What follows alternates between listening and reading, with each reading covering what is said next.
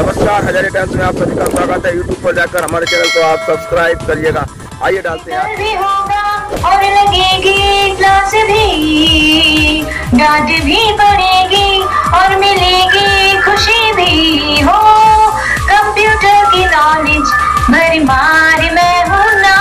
B A L L B L L B B S C agriculture B pharma D pharma B Ed D El Ed M A M S C M com B A B S C B com B B A B C M C M B M S W नमस्कार आदाब सत श्रीकाल आशा करते हैं कि आप घर पर सुरक्षित होंगे। आइए डालते हैं। आज की उस खास खबरों पर एक नज़र।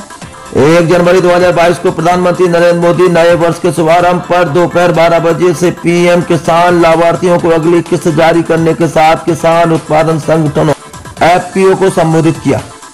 निखिल पाठक के निर्देश में थाना सौजना कोतवाली पाली मैरोनी में आगामी विधानसभा चुनाव को लेकर मद्देनजर रखते हुए दंगा नियंत्रण उपकरणों पर शस्त्र शस्त्रों की साफ़ सफ़ाई की गई। वांछित वारंटिक अपराधियों की गिरफ्तारी हेतु चलाए जा रहे हैं अभियान। अभियान के क्रम में थाना कोतवाली पुलिस क्षेत्र द्वारा एक वारंटी अभियुक्त को गिरफ़्तार कर आवश्यक गृह कार्रवाई की। चक निखिल पाठक के निर्देश में चौकी धारा थाना जाकड़ों क्षेत्र में अंतर्गत महिला सशक्तिकरण कार्यक्रम का आयोजन किया गया जिसमें डेमो के माध्यम से हेल्प नंबर के बारे में जानकारी दी गई तथा जागरूक किया गया। तालबेट की सुबह रही धुंध में। अब हम तालबेट की सुबह का धुंध तालबेट की सुबह में आज सुबह से ही धुंध छाई रही। तालबेट की सड़कों पर पसरा रहा सन्नाटा। हम आपको वीडियो में दिखा रहे हैं कि किस तरह से धुंध छाई रही। हालाँकि मौसम रहा खुशनुमा और लोगों ने भी इस मौसम का आनंद लिया। हमने भी आप, हमने भी तालबेट की सड़कों पर भ्रमण किया। सुबह के समय और धुंध का भी तालबेट की सुबह बड़ी सर्दी ली रही, उसका भी आनंद लिया। और ये वीडियो हम आप तक आपको दिखा रहे हैं तालबेट की सुबह का है जिससे आप सुबह का नज़ारा देख रहे हैं, बड़ा अद्भुत है। हालाँकि सामने का ज़्यादा नहीं दिख रहा था हालाँकि हालाँकि इस तरह की ठंड की कवरेज को भी हम आगे दिखाते रहेंगे। क्या नाम है आपका? चंदन लक्षकार जी ऐसी सर्दी में आप जा रहे हैं कैसा महसूस कर रहे हैं? बढ़िया। हम्म? सुंदर लग रहा है। आपकी तो जो चलती फिरती दुकान है जो आप ले जाते हैं कब से कर रहे हैं ऐसा काम? ऐसा अभी तीन चार महीने से कर रहे हैं। तीन चार महीने से लगाती थी। हाँ। क्या खासियत है आपकी इस दुकान में? कुछ नहीं है चल फिर के ज़्यादा बिक जाता है सामान और क्या है? सामान बिक जाता है। कहाँ कहाँ ले जाते हो? पूरा कला बस स्टैंड तक जब कभी।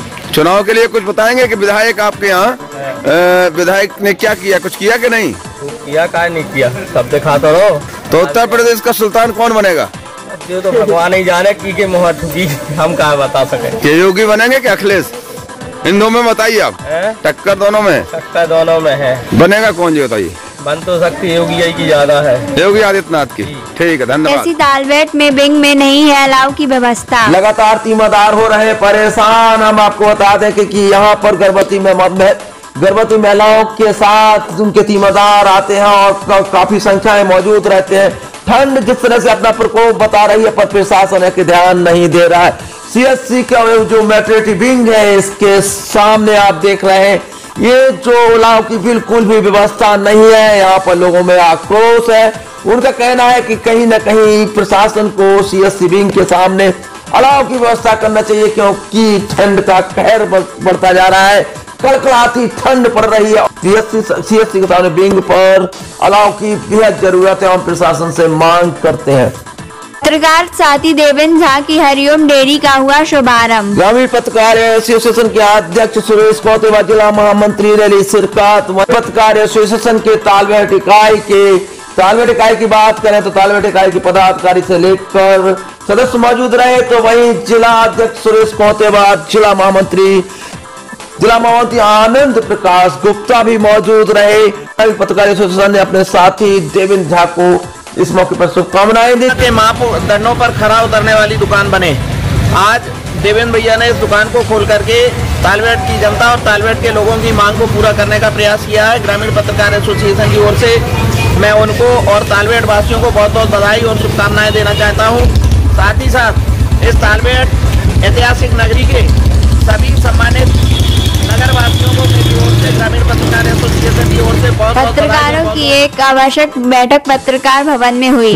हम बताते चले कि ग्रामीण पत्रकार एसोसिएशन के कार्यालय में आज तालबेट में जिला अध्यक्ष सुरेश कौतेबाद जिला महामंत्री आनंद प्रकाश गुप्ता की मौजूदगी में ग्रापाई की बैठक पत्रकार भवन में आयोजित की। हालाँकि तालमेट के पदाधिकारी से लेकर सारे सदस्य मौजूद रहे, वहीं हम बताते चले बैठक का जो उद्देश्य रहा वहीं शपथ ग्रहण समारोह जो ग्रामीण पत्रकार तालमेट इकाई का होना है, उसकी तारीख फिक्स हुई तो 16 जनवरी को ग्रामीण पत्रकार एसोसिएशन तालमेट इकाई का शपथ ग्रहण समारोह आयोजित होगा। इस पर सर्वसम्मति से राय बनी तो वही पत्रकारों के हित में अन्य निर्णय लिए गए। तो अपने अखबार में शर्त चाहिए तो वो हमारी शर्तों पे काम करेगा, हम उसकी शर्तों पे कहीं काम नहीं करेंगे।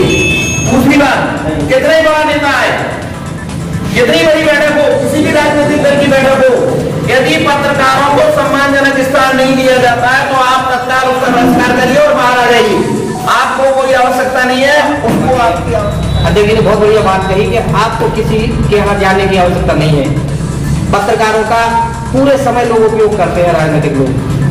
किसी एक व्यक्ति, विशेष या पार्टी विशेष की बात नहीं है। कोई भी व्यक्ति हो वो ये चाहता है कि पत्रकार को कौन कितना उपयोग कर सकते हैं। आज हम लोगों का समय है कि जो सही हो वही आप लिखें। किसी व्यक्ति, विशेष या किसी राजनीतिक दल के, एक ये मत माने कि हमारा दल है बस इसके, इसलिए इसको अच्छा लिखना है। जो हकीकत है, जो आपको दिख रहा है, वही आपको लिखना है। जिस दिन आप ये तय कर लेंगे कि जो दिख रहा है, वह वह लिखना है, जो सही है, वह लिखना है।